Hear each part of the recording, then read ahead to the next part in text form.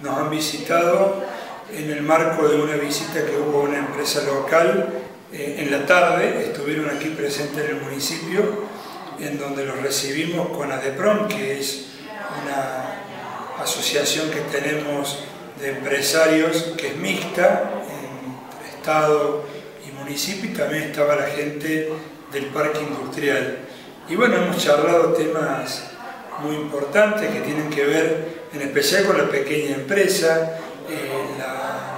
imposibilidad de acceder al financiamiento. Entonces, bueno, nos contaban algunas eh, cuestiones que ellos están realizando para paliar esta situación que hoy, eh, bueno, se torna muy compleja para, para, ese sector de la población, ¿no? y, y más un sector productivo. Así que les contamos también que tenemos previsto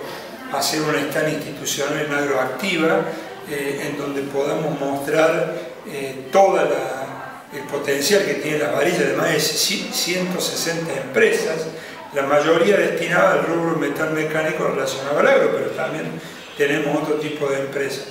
Y bueno, cuando uno va a las grandes exposiciones, nunca ve más de 10 o 2 si va a la rural, por ejemplo. Entonces, bueno, un poco como que ya hay que buscar esta impronta, ¿no? de tener un stand que sea de las varillas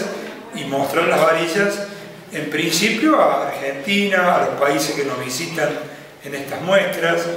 y una idea que tenemos ya de llevar más adelante esta experiencia, por ejemplo, a, alguna muestra como puede ser a Bolivia.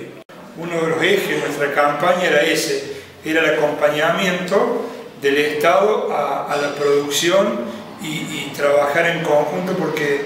siempre decimos de que el Estado no se puede hacer cargo de toda la cuestión del trabajo, pero sí puede aportar mucho a formar gente, como lo hacemos a través del Departamento de Capacitación,